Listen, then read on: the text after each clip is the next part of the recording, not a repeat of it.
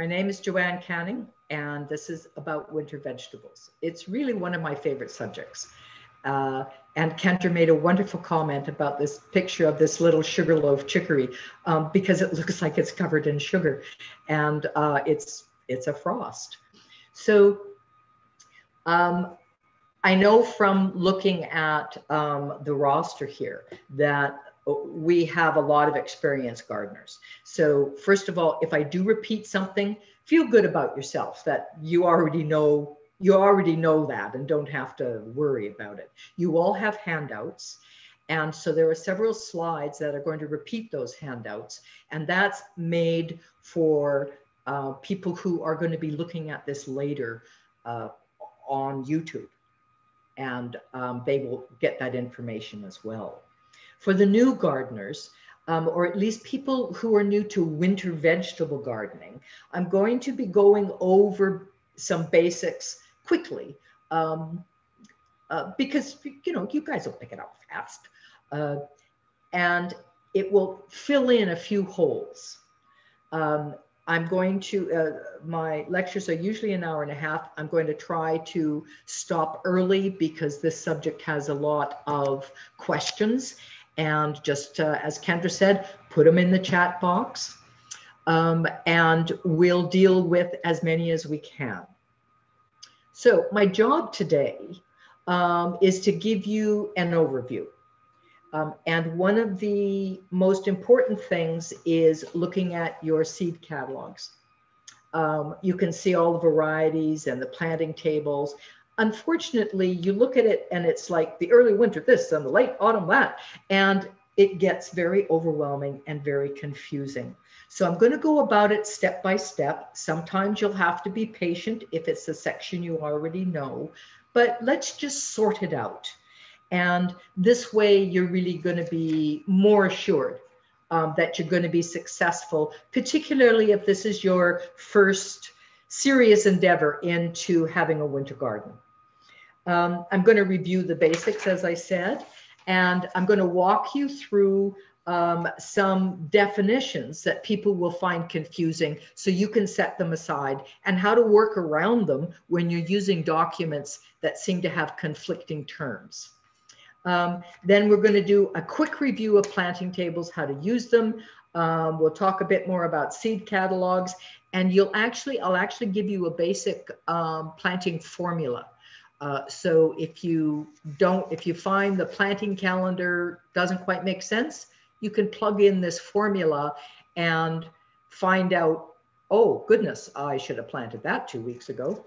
Um, then we'll, then I'm going to walk through all the specifics on what you need to be successful, what to watch out for, um, and we'll finish up with some ideas on overwintering crops, and we'll look at the book list um, which um, the Island University has a very good book list on this. And also, I've uh, got a list of reliable websites. Um, uh, Master Gardeners are always science based, and um, all these websites can guarantee that. So, thank you very much for everyone being so patient. Um, um, this uh, is presented by the Vancouver Island uh, Master Gardeners and the Vancouver Library. Um, this page is our um, caveats page. Um, the images are all separately copyrighted. Um, we're thanking the uh, various groups and businesses um, for um, reproducing their images um, under the fair use laws uh, for an educational seminar. Um, the Master Gardeners um, is a science-based international organization of especially trained teachers uh, who work in partnership with public agencies and private enterprise to promote sustainable horticulture. And none of this can be reproduced without permission. Um, as you see, um, there's a picture of a winter vegetable called um, monk's beard chicory, a very uh, popular Italian um, culinary choice. Um, now, why do we want a winter garden? Um, most people think um, it's so much more work. I've been gardening for seven, eight, nine months. I need to rest. And the thing is, is that winter gardening is not gardening. It's winter harvesting of food crops. And that a lot of people don't get because if you add the one small task of starting some new seeds and putting them in pots and planting them out um, at the time of year that you're putting the rest of your garden to bed anyway, um, you're actually, instead of only harvesting for seven to nine months, you're only working seven to nine months and you get to harvest for 12 months. And that's a very important thing. The other, the other thing to note about winter gardening is some of our most nutritious foods are our winter vegetables. And for many people, the winter garden is the garden because of where they live. So they might not produce tomatoes, but they sure as heck will produce kale and cabbage. Um, it um, also actually helps keep your garden healthier because you're paying attention to it. Uh, you may not be working in it, but say the wind has come up and um, it's blown some mulch off and the soil is bare. Well, you're out there um, picking your sprouting broccoli and you, you, you, kick the mulch over and uh, you've protected the soil for winter. But we don't really think of it that way. Um, the, um, uh, the other important thing, one of the reasons that um, I say that it's the most nutritious group of vegetables we have, is that there's lots of color. You'll see from this picture that's a purple cabbage. Every time you have um, something that is not green, you're getting another um, group of um, vitamins and minerals. And the studies show that if I grow a green cabbage and a red cabbage, they both have the same basic nutrition, but the red cabbage will be higher in um, B12 vitamins, anthocyanins, the um um, um, um, um, immune booster vitamins. So you'll see in a lot of the winter garden vegetables, lots of color. And uh, in carrots, you, you see the same thing. The other thing is that you have a lot of heritage vegetables. The reason being that um, they're really good. If something isn't practical, people stop growing it. The best example are string beans. Now we have the pole beans that are the children of those old string beans. I cannot find an old fashioned spring bean, uh, string bean anymore. They've died out. They don't need them. They have better varieties. And yet we have some varieties in the garden that have been grown since the late 1700s. So that's another reason is that you have tough varieties that are very forgiving and very tough. And uh, in terms of, uh, well, tough, easy to grow. They're also cheaper. We all know how expensive things can get um, how much cauliflower can get. Well, I'd rather pick a fresh cauliflower. And um, it's been proven that many vegetables, uh, I read a study on spinach, in 10 days of storage, spinach can lose up to 50% of its nutritional value. And it doesn't matter whether it's grown organically or the chemical feast, they both lose as much as 50%. So uh, when you're picking something fresh, of course it's tastier because it's more nutritious. Um, for me too, um, to step out in a winter garden and well, look at that uh, uh, picture of the chicory. To really experience it in winter, and then you get to bring dinner inside. To me, that's that's worth it. Now let's look at um, the um, reasons that uh, I want to get to, there we go, um, how the gardens are different. Particularly if you've done the summer garden, um, it's not always sure of how it is different or why you have to do different things. And so let's the summer garden. Um, the further north you go, um, the more the winter garden becomes the main the main season garden because you just have a shorter growing season. And then one thing I learned in the desert is that there's a time that nothing grows because it's too hot. And as our climate change uh, um, is upon us, people are seeing that even in this climate more often. So we have warm, moist soil, strong sunlight. So we get the high yields in the optimum time frame, which is just what the seed packages say. Um, when you enrich your soil, you boost your crop. Once you wait about two uh, two weeks for the soil um, web and all the wonderful microbes and the worms to really break that down and make it available to the crops. You have a very long planting window. And when you succession plant, you get continuous harvests. And this is where the first aspect of winter gardens come in because you're able to plant for the late season, the autumn, the winter, and the overwinter crops at that same time in the planting window.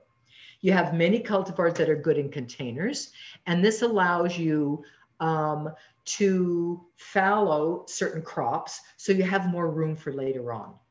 And the close planting is okay because you've got rich soil that's constantly active.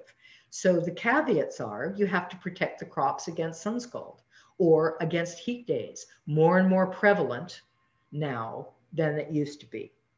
Um, and you have to ensure adequate water when the plant needs it. So what about our winter garden? And here are winter French lettuces on the left.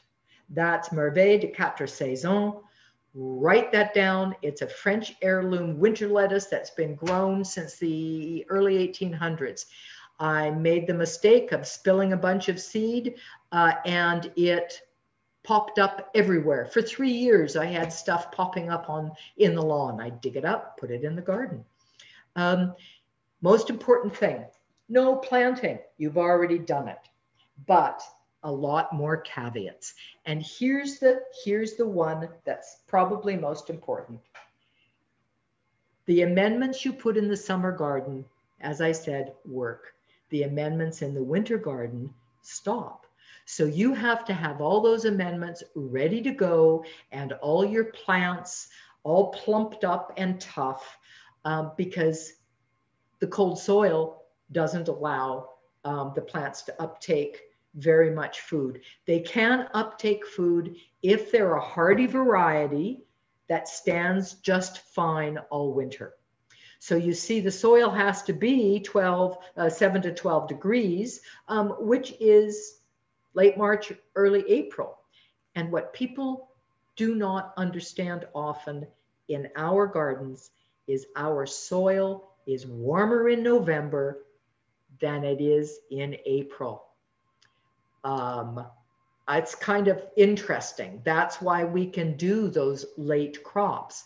That's why we can uh, start our winter vegetables, grow them in gallon pots, and transplant them in August and September. That's why we have winter plantings of garlic and fava beans, because the soil is still active and then they go dormant.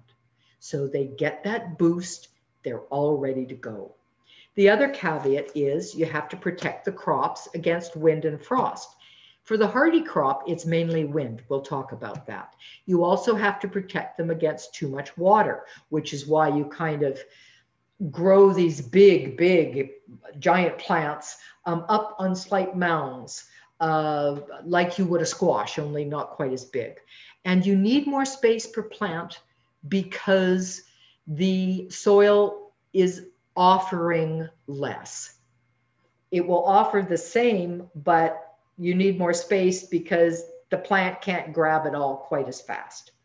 And that means that the space in the garden needs to be reserved for early spring. So you have to go about um, your uh, planting map a little different, but we'll go over that.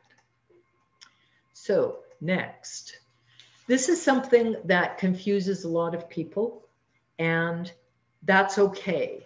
Um, because once you realize that, then you um, won't be bothered by it. Now, this is my wonderful uh, borage, which um, I let self sow in the garden because the little leaves um, taste like cucumber and they're wonderful to add to salads. And in, uh, of course, the the flowers are edible.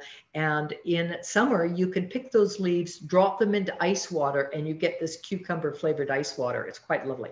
So the seasons of the of winter gardening um, really refer to the harvest times. So autumn to winter is October to November. Early winter is December to January. Hungry Gap, and we'll specifically deal with those because we got a long, lot of Hungry Gap foods, are February to March. And then early spring is March to April. That's when we have over winter um, vegetables. That's when we have the earlier ones maturing. And this, as I've made the note, you see some catalogs call late winter very early or early spring very early. So it's confusing. Um, the overwinter crops are usually harvested in March and April before planting your greens, um, although you can also leave that little section fallow. I really went to more uh, planting in squares, um, not the square foot gardening, but more like the square yard gardening, because it was easier to go fallow that way and um, not have great long rows that uh, had to be fallow. So um, when you are dealing with when to plant and when to harvest, um, that's what you um, that's what you are concerned with. So let's move right on to keys um, for success. Um, that uh, picture in the background is a corn salad wonderful and hearty. Um, you reach down and you pinch the center out with your with your fingers, and um, the uh, center grows again, grows all winter. It's kind of a cross between goodness, what spinach and um, uh, spinach with a little bit of pepper on it. I love them, very succulent. So here's our keys to success. And as you can see, this is the Russian red kale. Um, the flat leaf kale has always been my favorite because it's reliable, it's winter hardy, and it doesn't collect aphid the way the curly ones do. Everyone has their favorite cultivar. That happens to be mine. Now, here we are. If you're new to winter gardening, very important. Choose a very few cultivars different ones, and very few plants. Or if you want to experiment, I'm only going to grow cauliflower and broccoli. Try two or three different varieties. Or I'm only going to grow cabbages. Try an early winter cabbage, an overwinter cabbage. Just keep it simple. Don't overdo it. And make this a learning time. And all of a sudden, it's like pruning. All of a sudden, the penny will drop and it'll stay in your head. But keep make a map so you know what you know where and what you planted last time. Doesn't have to be ground. Most people can't read mine, but I know what they mean. The other thing you need to do is enrich the soil. You have to do that in autumn, but you're doing it anyway when you're mulching and putting the bed together, so don't worry about it. This is key. Know your planting windows. We're going to go about that. Start at the beginning of your planting window or don't bother for this year. It's all right. There's either a later variety you can grow or you can try something else. If you don't start on time, you really risk losing the plant because um, winter is not kind. And here, match cultivars to the harvest season, which is kind of like starting early. Um, we're going to go through all these in depth. Plant different varieties. I just talked about this of the same cultivar, or plant different cultivars for different har harvest windows. Um, the example is calabrese or sprouting broccoli. Calabrese is your main head broccoli. Many of the newer varieties will give you some side shoots, but it is not winter hardy. Sprouting broccoli loves the cold. Many of our winter garden, um, uh, winter veggies were developed in climates further north than ours and further inland than ours. And so they're very happy here. Make room, as I had said before, give them plenty of room. which means you plant fewer plants because crowding will, you'll just get plants that'll die. Protect your half hardy. We'll talk about that. And then we're going to deal right at the end um, with a term called winter sowing. It's kind of fun. Um, some of us already do that. We just don't give it that fancy name. Now, in your handouts, um, I really like the sowing calendar from whentoplant.com because it, it shows when you plant, when it's going to grow, and then when to harvest. And so you really get a sense of how things can overlap. And this one is from West Coast Seeds. Um, probably one of the best um, that you can get because it's local. And I'm going to show you a picture of it. Um, you can see that this is the main one for this year. They put out a second one called um, the winter um, planting, and it's nice, but they've chosen certain varieties. Many of them are not in this major one, and the instructions on how to plant and how to grow out are all in your main guide. If you don't have a paper one, you can read it online. Um, I've talked to many old gardeners. Um, I'm one of them. And one of the main ways that I learned about vegetables was I read the catalogs all winter. So here we have the formula. So if you don't have um, a calendar, um, the thing you need to know is your frost date. I just remembered that one thing that I forgot to do was to put down this website. Grab a pen, quick, quick, quick, quick, quick. And it's easy to remember. It's called Weather Spark. And Weather Spark, and then put in your city. It is a complete climate analysis of your city. It will tell you, it will show the tables of the rain patterns, um, the exact number of days that you can grow vegetables, when your first frost is. It, they're quite fascinating. Um, uh, we use those tables uh, when we teach um, the new master gardeners. Now, for hardy crops, you ask these questions. When do I want to harvest? Um, do I want January, February? Do I want to go November through February? Do I only want Hungry Gap plants that don't even harvest until then? All those things. Go to your seed uh, catalog. They'll give you all those options. How many days to harvest? Now that's from the seed packet. Now you have to add the number of days to transplanting. So you look at your seed package, you say, oh, I'm going to sprout in X number of days. One of the uh, things about winter vegetables is they're often very slow to sprout. People who have grown Swiss chard understand that.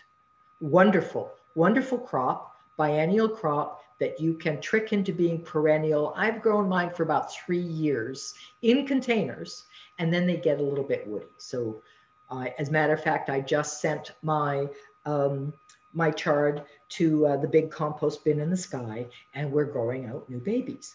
Um, so you have your days of harvest. You have plus the days that it takes from seeding to transplant. That's in your catalog. They'll tell you when to transplant them. The rule of thumb is make sure it has roots, good roots. And if that means the plant has to be a bit bigger, let it grow another couple of weeks. And they need to be probably a minimum of three to four inches tall. Then you add your winter slowdown. In other words, I got to back up another two weeks. That gives you your planting window, which is a number of days. And what you'll discover is that that number of days is maybe three weeks from mid August to early September. It might be 60 days. Um, it, uh, it might start and stop again, like what cabbages will really teach you a lot. Um, so you count back from the time you want to harvest to when you need to plant it. Now, in frost tender crops, that means that you need to plant that crop out before the frost date and you do you you work backward from that point and that's your planting window and if you're using cloches and and uh, you cover the crop cover cover the ground I've got crops, which is incorrect. Cover the ground a week before that frost date. It will keep the soil warm. You can put your plants in the soil, put your polytunnel on top of that. Generally, though, you can uh, simply follow the calendar. So here's our first thing about success. Start early for slow growers these funny little patio um, greenhouses. Um, when the first one I bought, I think was $35. I ended up with, I think, four of them. And um, they became a year round friend. Um, you can see this fence behind it, and all I did was tie it on a fence. This is in August. You can see some of my brassicas um, all um, getting big and plump. Um, these are the later brassicas in the middle um, that are in the smaller pots. Um, you can see I've potted up my bigger guys. And here's a picture of um, an old front walkway in our old place. And you can see in October, I've got my dahlia and my kale. I just found that it makes a, a lovely um, thing to see along the, uh, along the walkway. And then it was easy to pick as well. Um, now, the next thing is know your cultivars. And again, the catalog. Are they hardy? Are they completely tender that I have to grow in a, in a greenhouse? Or are they half hardy? They um, will sit out with some, with, with some cover. And which window does that cultivar fit? Um, and what kind of harvest do I want? Some are all at once, like a garlic bulb. Some are cut and regrow, which are lettuces or chicories or spinach. Um, others, um, you pick the leaves or the stalks to thin them, like uh, kale. Uh, Dr. Linda Gilkeson did a study um, in harvesting winter crops.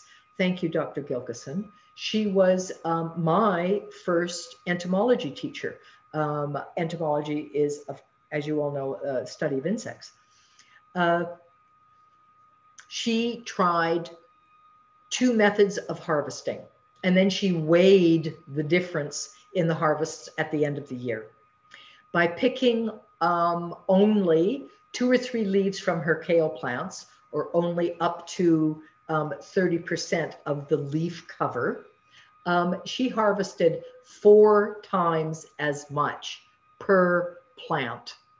Well, when you're thinking of feeding a family of four and you get four times as much from one plant, that's that's pretty cost effective. I've also had clients come to me and said, I thought that kale was hardy and mine have all frozen and, uh, and they've all died and rotted. And I said, how did you pick it? Well, they stripped the whole plant. And I said, Yep, nothing to keep it alive. But if you alternate your leaves all the way up, and key here, never pick the top. Always leave that to grow. It grows very, very slowly, but it still grows. Now here on the right are little, little uh, Fordhook giant chards. Um, and that, that beautiful um, kale is ornamental. But ornamental kale are also edible. So they make a beautiful flower in autumn. They sprout up, and on that stalk are little leaves that are succulent and look, look great with, uh, with lettuces. Shred an apple into that kale, that chopped kale, even the big leaves. Oh, such a salad. And here in one of my little greenhouses is, is my, uh, my marjoram it uh, I, where I grew it, it wasn't fully hardy. So I grew it in a pot and left it in the unheated mini greenhouse. On the left um, is another group of lettuces that I grew that um, were really tender. So I would overplant them in the pot and then I would just pull them up and thin them. Uh, and of course, in the upper left is spinach. And you see down below, that's actually kohlrabi that I um, planted in a, in a big planter and then planted it out later. Um, here's a group of plants that uh, are a really nice addition to the garden because um, they, as I say in the bottom, they uh, give you um, a real variety. They're also like cabbages, if you're into stir fries, another group that is great to learn on because they go from completely hardy, which is the um, tatsoi on the bottom left. Um, bok choy is um, a toss up. For some uh, some people, they say it's totally hardy. Others um, don't experience that, um, and that was my experience. Um, was that uh, they were fine unless the wind hit them. So I learned to plant all my really heavy duty crops in a square around them, plop my chard and my bok choy right in the middle where they wouldn't be so affected. Um, the uh, big mustard greens, uh, you also see those um, in European varieties as well as Asian varieties. And on the table to me, um, they're approximately the same, but you see the colors. And over here uh, on the far left is, is uh, Mizuna. Um, that is comes in lots of varieties and some lovely variegated colors. And then you've got, um, uh, I I'm not sure of the one next to Mizuna, um, but you can see again some small mustard greens. So they're a good, uh, a good group to learn on. Uh, and as I say, you like stir flies, they're perfect. Now, here is um, another term that uh, Dr. Uh, Gilkeson uses in one of her wonderful books on winter gardening, and that is um, the living fridge. I wanted to show you what my living fridge over the years ended up looking like. And you can see in a four and in five, um, it kind of looks like the summer garden. Um, I, uh, um, I have parsley, uh, one. Two is that wonderful um, French lettuce. Um, as you can see, it's frozen. That was February. And there's the key. If something is frozen, leave it alone. It'll thaw. Um, then it, uh, you have the corn salad, which some people call vit. Um, and in the bed, you can see uh, smack dab in the middle, um, you can see the uh, chicory, big, generous plants. You can see the red um, lettuces. Um, and under the netting, um, I've got um, carrots and cauliflower. Um, it, that netting keeps the deer away. And then uh, in early, early spring, that's finished and I throw my polytunnel over that um, and I, I will plant very, very early um, crops. Um, you, the onions are at the back, so it's kind of hard to see. Um, of course, you can't see the carrots. Um, up here on the bottom left, that's my winter broccolis and my Brussels sprouts and my kale. You see, they're big plants. They are up to your hip. So that's, that's at least three feet. And later on in the summer, my kale, well, not summer, later on in the spring, I have pictures of my kale. I would save two or three plants. Um, they would be six feet tall, all in flower, and all those tiny little leaves, sweet, sweet um, salad greens, which means that I didn't have to plant more. All the flowers are yellow and peppery and edible. Um, you see the collards under the snow. Now here I had some um, uh, Danish ball heads. I wanted small cabbages. And with cabbages, you can stunt them by crowding them. And that's, I deliberately did that. Um, so I could um, have some small cabbages because the far right one, number eight, is my 25 pound January King cabbage. And I only grew two of those a year because they needed at least three feet square around them. They grew huge, and I used them for making sauerkraut. And by picking the leaves off the outer side, you don't cut them, you um, harvest outside leaves.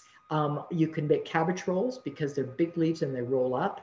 And then you can also store that big plant on, a, on your porch. Uh, and the outer leaves will get dry and it actually preserves the cabbage. Um, now here's another example of the living fridge. Very few of these pictures are mine um, because I didn't take pictures of um, roots.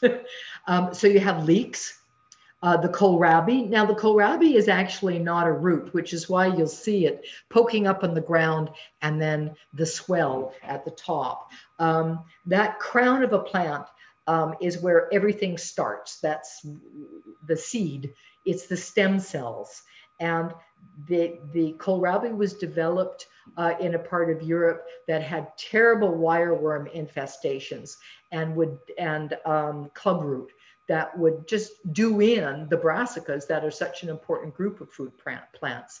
And so they developed kohlrabi um, from the what they called the meristem, the undifferentiated cells um, at the base of the plant. And that's why you have um, the leaves growing out of the swelling um, and why you have that succulent um, bit of um, uh, plant inside.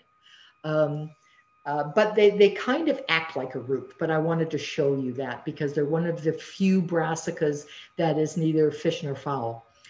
We have the beets. Um, many of them uh, developed for tops as well as um, roots or, or bulbs. Um, and again, you have uh, something called Hamburg or parsley root. Um, it tastes like a cross. Well, the parsley and carrot, they're the uh, same family. So you have, if you don't like strong carrots, um, parsley root uh, tastes like the cross between parsley and carrot with a hint of parsnip thrown in there. And so I got green tops uh, during winter as well as my roots. So that saved me space. Um, on the left, um, those are all winter radishes. I love that picture. Um, it really shows you the variety. And some of them are very, very spicy. Um, some of them are quite mild, um, but those are winter radishes. Um, and on the right, uh, we have turnips and rutabagas, which some people think are the same, and they're not. Uh, turnips are uh, first recorded in the 1300s as a vegetable. The rutabaga was not developed until the late 17, late 1700s, 1700s, um, uh, when there was a rather warm patch in the world. And um, the um, agricultural revolution, which preceded, of course, the industrial revolution, um, developed a lot of new plants. The rutabaga is actually a cross between a turnip and a cabbage. Uh, and it was made for the northern gardens in Scandinavia to give them a root vegetable that they could grow. Um, look at all the carrot varieties here. I'm going to um, talk a moment about the red ones. Uh, some of them are red all the way through. My favorite was um, the dragon carrot and the purple haze because they were red on the outside, orange on the inside, and they did not taste, oh, they were kind of woody and boring when you pulled them uh, to eat them raw. Um, the carrots that are uh, were good raw, the winter carrots are, are all your um, orange ones. I found the white ones a little bit too bland, um, but everybody has different flavors uh, in their head. These red ones, first of all, not only higher in nutrition, but when you cook them, they just sing. Um, the amazing difference they make to stews or as a steamed vegetable, quite remarkable. Of course, you have your parsnips, and um, this over winter onion, this is the Walla Walla that I used to grow, and celeriac, which is a root um, and it tastes like celery. Here we have the hungry gap harvest. There are some plants that are meant only for the hungry gap. Uh, and um, they are February to, Ma- to March. Now, the Hungry Gap um, is a European term. It is the time in which the larder runs out and the new stuff hasn't grown yet. And it's usually February to March. It's what your relatives in Ontario call the brown time. And there are there are vegetables deliberately developed to harvest during that time. So there's the celeriac and the um, one of the uh, I have two chicories. On the bottom left is the monk's beard, and this I just photographed um, this past year. That's my ornamental uh, kale beginning to shoot up when we had that snow, and um, all those lovely white um, uh, um, leaves are succulent and edible. This is Brussels sprouts. If it's a hot summer, you don't do well with Brussels sprouts. So if you decide to grow Brussels sprouts, you keep them in the shade and um, you harvest them um, in three different uh, three different ways. And that's the neat thing about some of your Hunger Gap foods is that you often get more than one harvest. With Brussels sprouts, they grow up the stem. You harvest the bottom half first, leave the top half. You'll find they're smaller, aren't they? But once you harvest the bottom half, the top half take off. Then they become plump and you can see them on this one. This one I think is Gustus that I grew. Then you have the top group and you'll find that after you've harvested the last of your Brussels sprouts, during the hungry gap at the end of it, more like March, that top, because it's um, a biannual and you've tricked it um, with uh, producing part of it early and then overwintering, and now it wants to flower. It produces at the top of the stem something that looks like a loose cabbage. You grab it, you twist it slightly, and pop it off carefully. And you have a beautiful, sweet, cabbagey leaf a little bit coarse for a salad unless you're going to julienne it and, and use, say, an apple or a strong dressing to break it down a little. Then you get a third crop. All around the edge of where you popped it up, you have tiny little Brussels sprouts growing, and you get a third crop of those. Uh, one plant. So that's one plant. Um, and uh, uh, again, uh, you can see the uh, purple sprouting broccoli. The key with that one, again, don't cut the top one. Start from the bottom, pick them, and then they get successively smaller, but they stay sweet. And here is a Hungry Gap uh, dinner.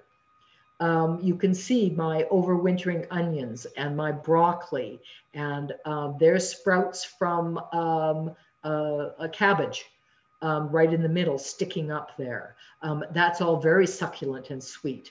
You can see um, one of my uh, dwarf uh, cabbages that was only about, um, I think, three to five pounds. In the upper right um, is chocolate mint, which was my favorite type of mint that would always overwinter in a pot and give me um, lovely uh, tea. There's my winter lettuce, and in the bottom is a purple cabbage or a, a purple cauliflower.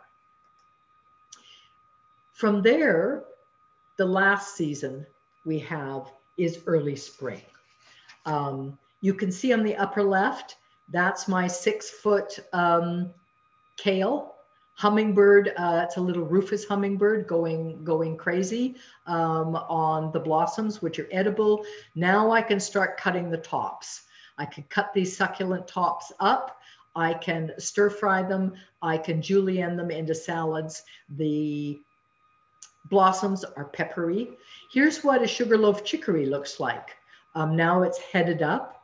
I cut it at the base. I trim off all those old dead leaves and I have this base left. If it's a rainy spring, I take I take the bottom leaves and I fold them over top to make an umbrella. Take a little stick and thread it through. Something my mother uh, showed me for chicory and also for uh, cauliflower if they're starting to shoot up by covering the head. You keep the sun off and the heads stay tight. And then that chicory um, just split in half and either roasted or steamed. On the right, um, here are my overwintering onions. And you see next to them, that's the um, corn salad that has stood all winter. Bottom left is just a, a shot of the kale from far away with uh, on the lower left, um, the last of my um, purple sprouting broccoli. And here is my favorite Brussels sprouts. You can really see the head on that um, making your little cabbage. Uh, and that is red ball. Uh, I found it much more tasty than either Gustus or Long Island Improved. And here is um, a small harvest.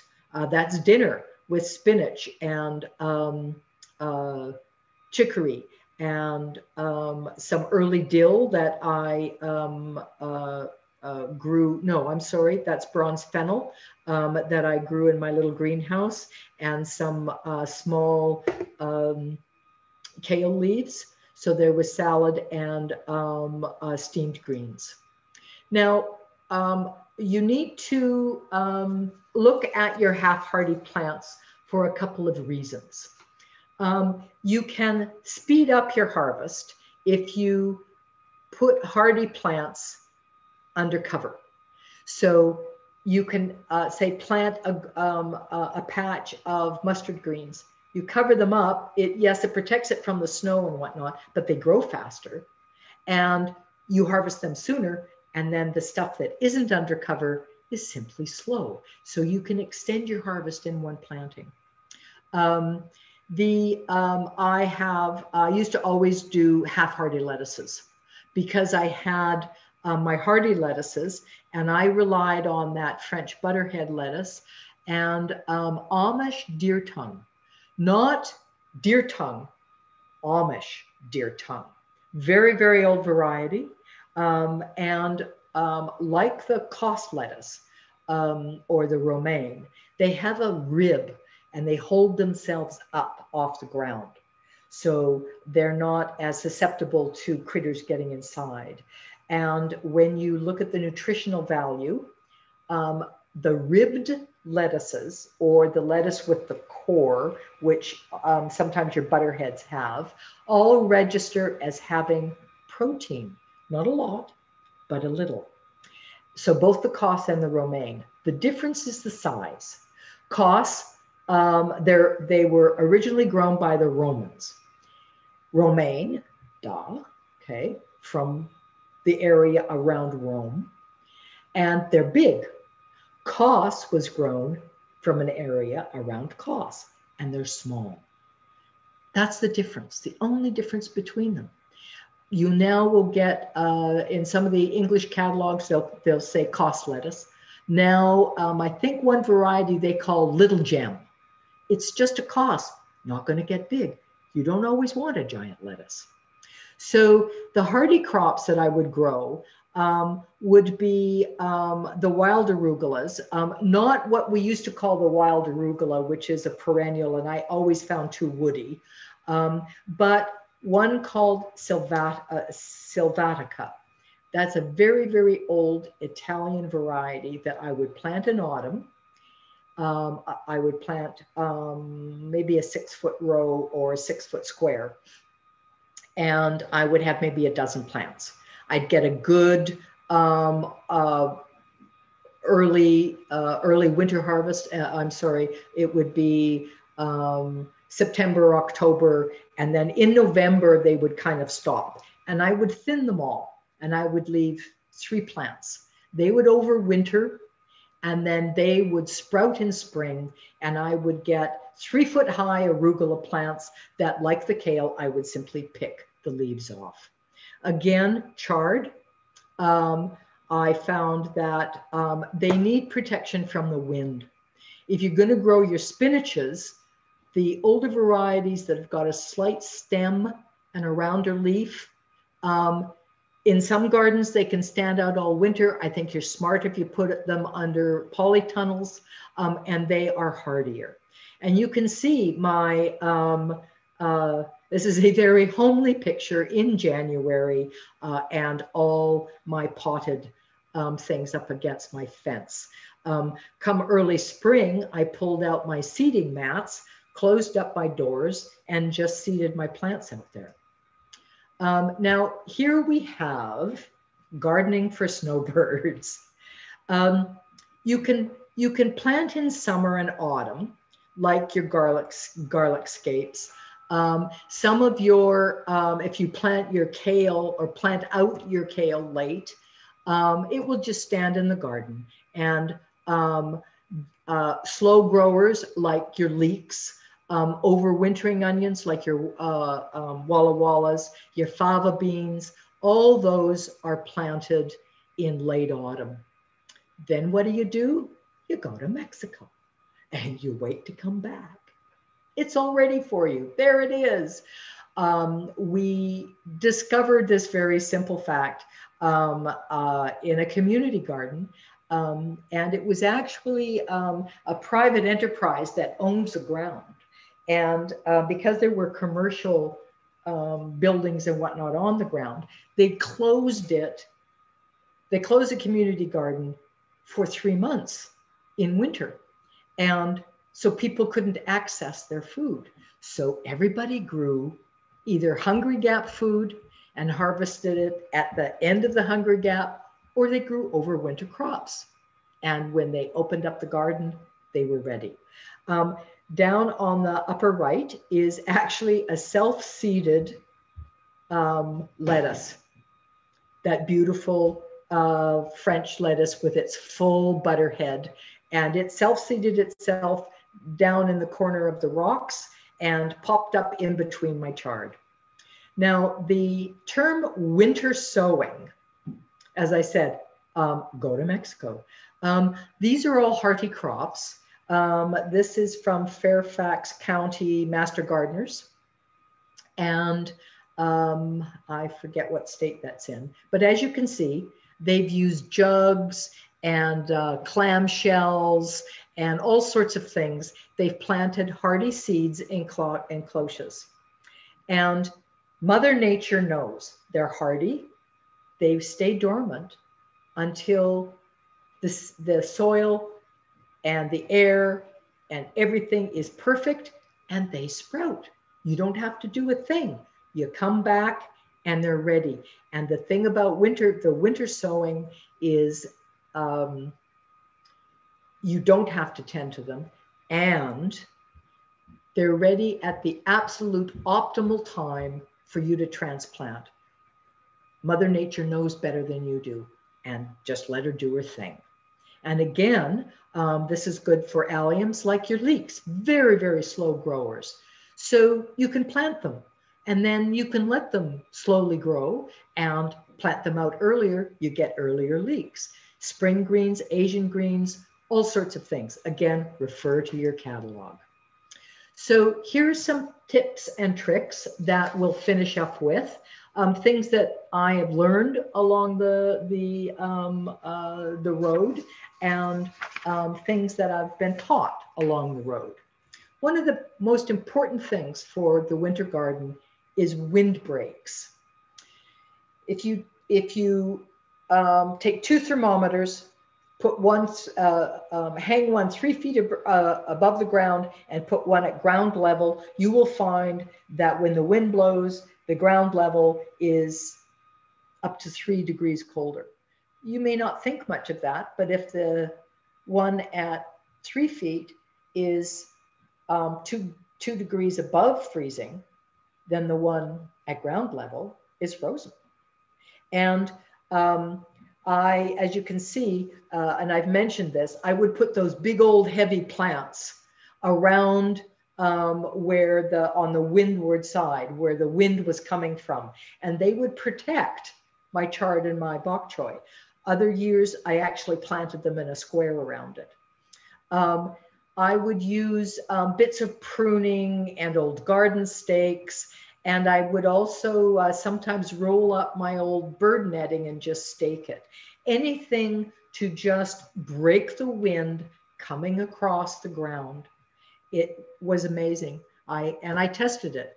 Uh, bok choy, big those big succulent bok choy behind the netting, And so not even all the wind was stopped and outside of the netting.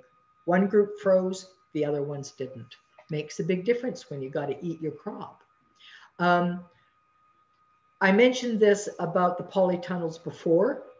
Um, and this again, I mentioned before um, about harvesting two or three leaves at a time. So, so instead of having, you know, three kale plants, you have five kale plants. Um, plant a couple in your garden bed, in your in your flower bed, the way I did, and then I don't use up all the room. Here's the one pest we have for winter. It's the carrot rust fly. There's a lot of it in our area, and um, cover your carrots. Uh, they are active um, on warm days until Christmas, sometimes, depending on your autumn. And so you go to pull up a carrot and all you got's a head. So, or all you got's the greens. So keep the carrots covered. Um, of course, polytunnels or netting you could see in that picture that I showed you keeps out deers and rabbits. Also, I found it quite effective for uh, um, foraging raccoons. They're not really after the greens, they're after the grubs and the slugs and the worms and whatnot that seek shelter under your plants. Again, I've mentioned this, harvest Brussels sprouts from the bottom up. Um, and then for protecting all your plants, you're going to be um, mulching for autumn. You're breaking your autumn or you're breaking your garden down for autumn. You're putting the last of your compost out. You're digging things in. Some people grow cover crops. I used to, but I found that um, because I had a really good source of horse manure, I would use leaves and horse manure and compost, and I would prep the whole garden um, as I put it to bed. And um, then I would take whatever summer plants I had and I would simply chop and drop, leave them on the ground, cover them with the mulch. And I had my whole bed prepped not only for the winter plants, but for the next spring. And if I had an area of fallow, that was prepped. So um, uh, when you're doing that, you want to keep this small donut of space. And I mean just um, two inches, just so it doesn't touch the plant stalks. Um, and um, that way, when the when, in spring, when the pill bugs migrate in, because they are very important composters and they eat all the woody stuff, they're not going to continue on and eat the stalks. Also, it keeps slugs slightly away. You can also put uh, collars around those plants as they come up to keep the slugs away. And then as they grow up, the leaves hang up rather than touch the soil because big leaves touching soil is just a slug highway, just a bug ladder. And um, that collar of just, um, uh, I used to use uh, 500 uh, milligram um, cottage cheese containers or yogurt containers and then let the plant grow up through it. Um, it protected the plant from the wind. It created this little bucket of warmth in there for them because the plant does generate heat. And you can pile up your mulch around it. Uh, I saved uh, many uh, rosemary plant, which are actually one of our most uh, tender perennial herbs by doing that.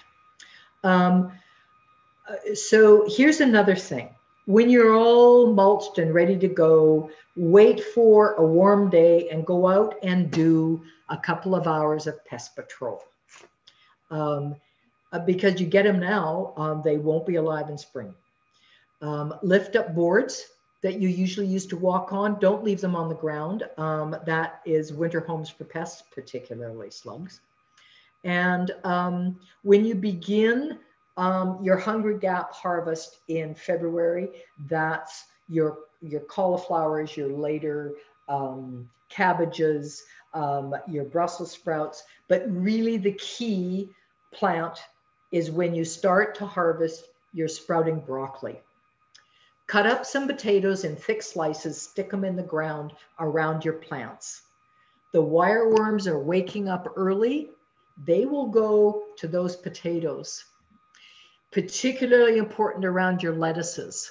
You'll find, you'll go out in the morning, you'll find a lettuce leaf flat dead.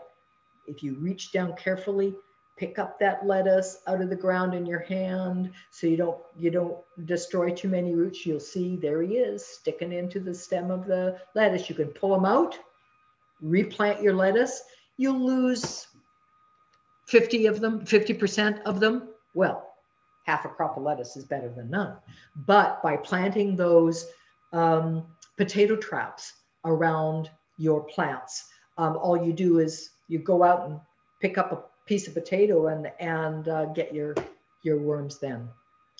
Um, so here we are at the end. Um, some books and websites. Um, this is from CBC. Isn't that kind of neat? With uh, the whole stalk of uh, of Brussels, and you can see your rutabagas and your beets, and that big old ug- ugly pupper, puppy up in the upper left. That's a celeriac root, and some onions and that looks like um, collards and curly kale. And lying down is uh, some leeks. So a wonderful winter harvest. Um, I've um, listed all these uh, books that um, April, uh, our um, head librarian for our project, um, and Kendra gave us that are in the garden. And they've pretty much covered the ones that I would also recommend. And I've given you um, the blurb on them. The, this is also in your handout. Now, these ones are in your handout. And um, again, it will tell you all about them. There's a really, really neat one, the very first one called Garden, Garden Focused.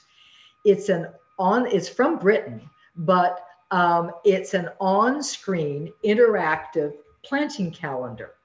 So when you get to that page, hit specials, and the menu will come up and it'll tell you uh, the two cities they use are Nanaimo and Victoria.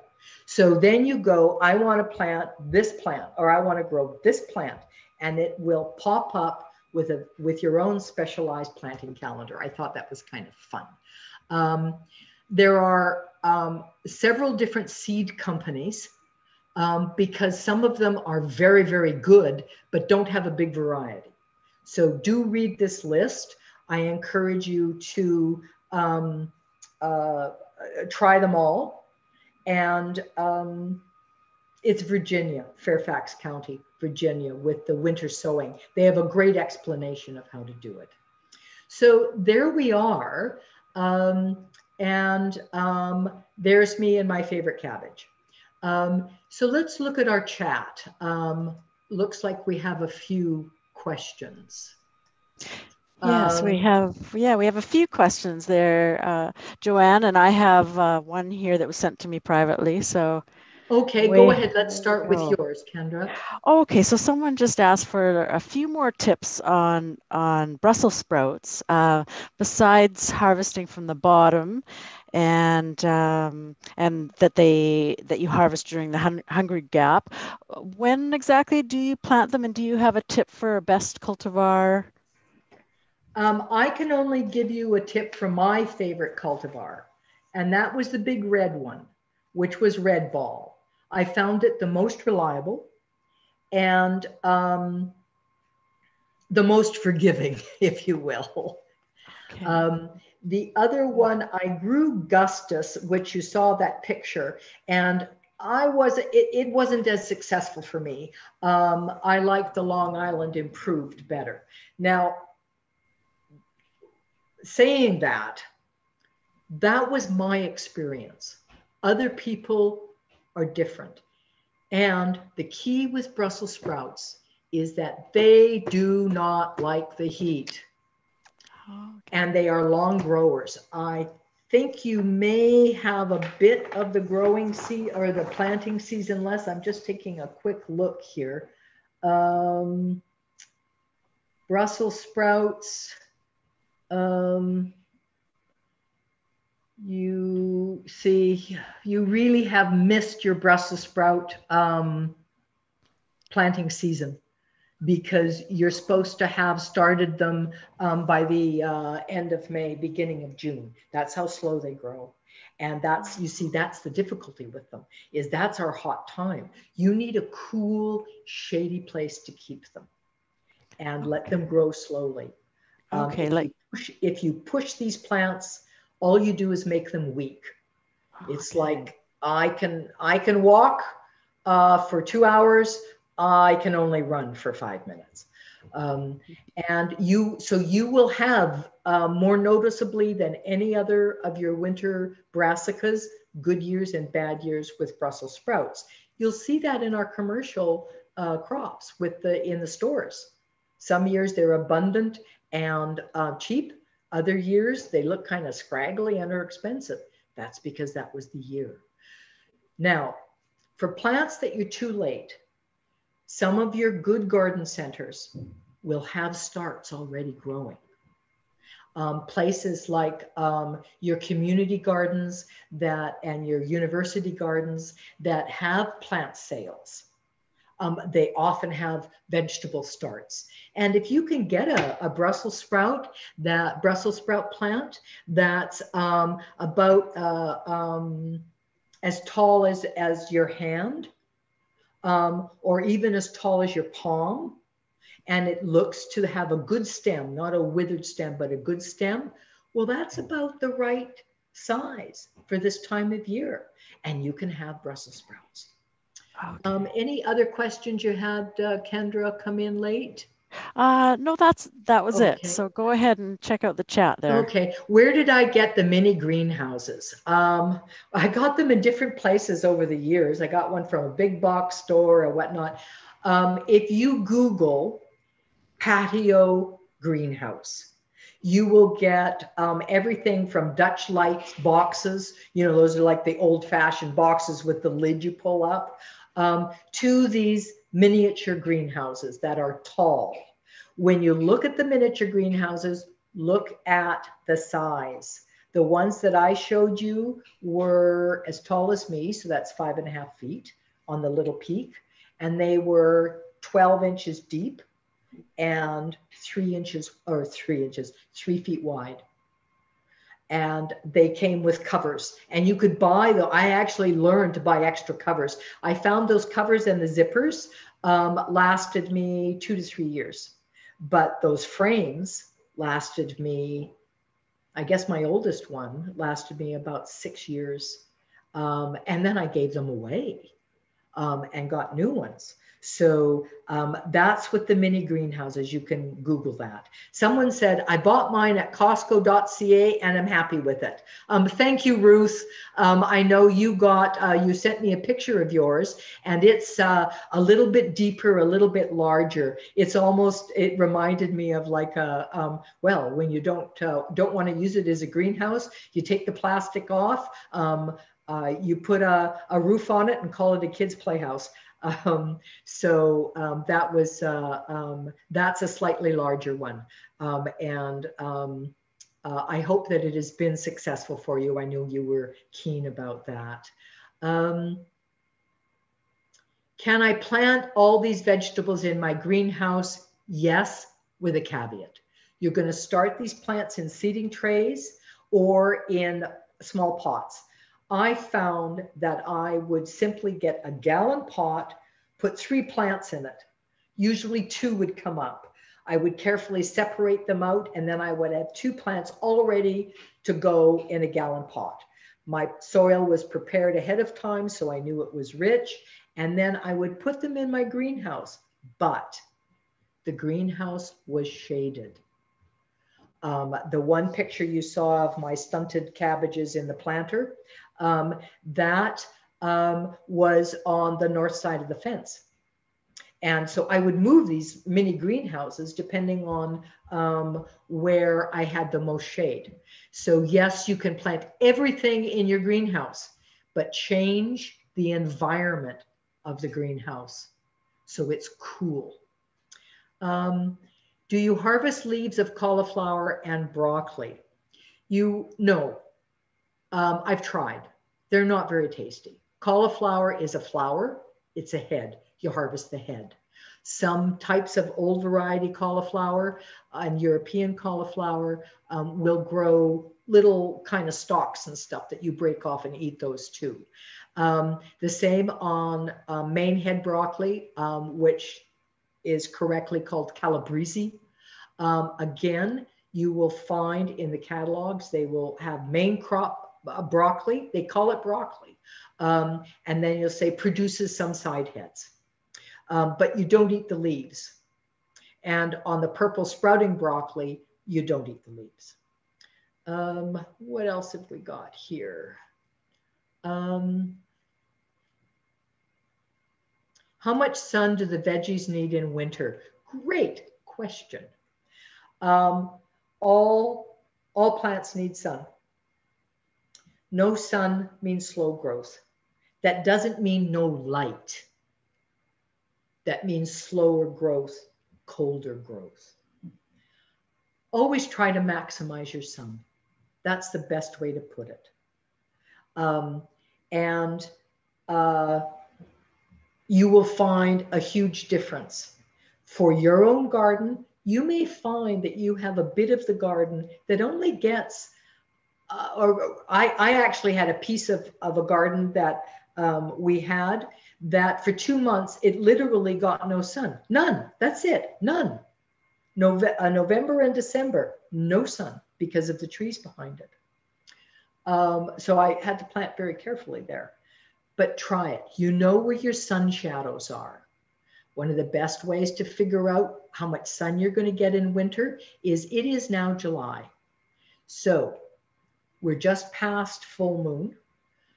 The um, uh, mnemonic is the full moon in winter is the sun in summer, and the full moon in summer is the sun in winter. So your June moon and your July moon will tell you, um, you can see the pattern of shadows in the sky, will tell you where the sun is going to be six months later. And you and you will get a, a sense of where that sun is going to be um, this winter. Uh, you can also go to websites that say, uh, let me let me think. The thing you type in is find my sun window, and you can and they're little calculators and whatnot, um, and it will show you where you're going to get sun at your latitude. Um, that it's kind of a fun project to do. Um, and if you read Anthony Coleman's books on winter gardening, or not Anthony, um, Eliot Coleman's books on winter gardening, he has some very, very good explanation of the effect of sun, but also the effect of light. Um, the, the, the number of lumens you're going to get, which is the intensity. And intensity is important for your more southern vegetables um, in terms of getting them to set fruit.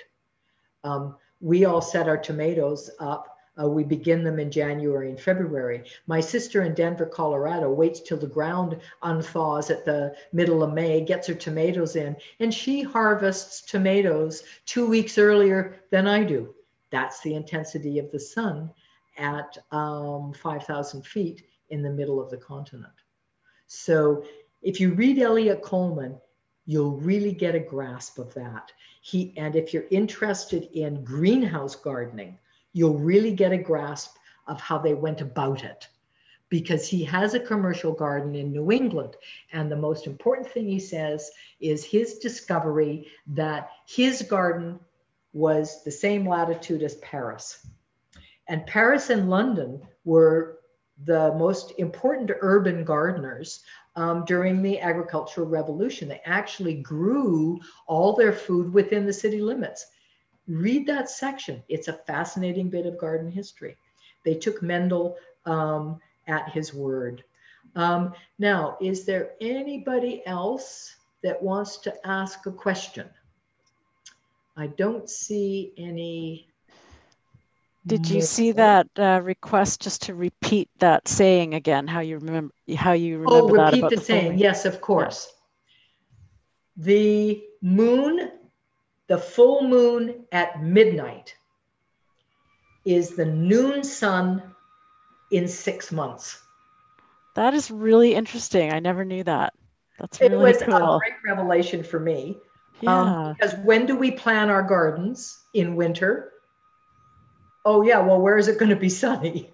And for me, I learned that I was going to have that two months of no sun because we moved in in summer. Oh, And so I learned. And That's it's not just the one night because we have three nights of full moon. So you can usually get a sense of it. And if you can glimpse the moon, even if it's partially cloudy, track it across the sky because the full moon comes up um, in uh, um, just before sunset and it sets just at sunrise. So if you see it coming up and the next morning you see it going down, you know how it's tracked. And that gives you a sense of it.